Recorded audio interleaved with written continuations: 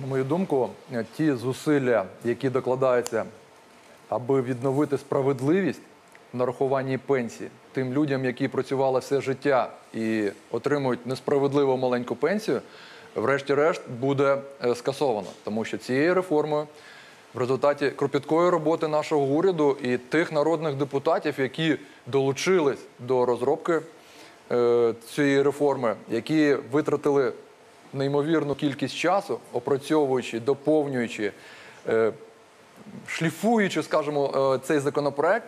І, зокрема, е, Денисова Людмила Леонтівна, вона підготувала якісний законопроект, який дасть можливість збільшити майже 9 мільйонам українців, які знаходяться на пенсії, їх грошову виплату. І я вважаю, що це якісно новий крок української влади, яка, на відміну від е, минулих прийнятих рішень, вперше готує реформу на якісно підготовлених показниках державного бюджету і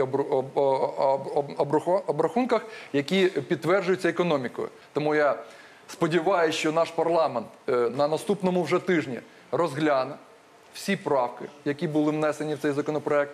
Я впевнений, що фракція Народного фронту знову буде найбільш зґрунтованою, найбільш консолідованою під час голосування і надасть гарний приклад всім іншим народним депутатам голосувати за той Тобто законопроект, наступного- який щонайменше чекають 9 мільйонів Наступного українців. пленарного тижня ви плануєте пенсійну реформу розглядати, так? Я думаю, що це буде на наступному тижні. Воно Дякую. вже майже е, готово до внесення в зал. І тому ми не будемо відтягувати і проголосуємо, як тільки вона буде внесена в зал.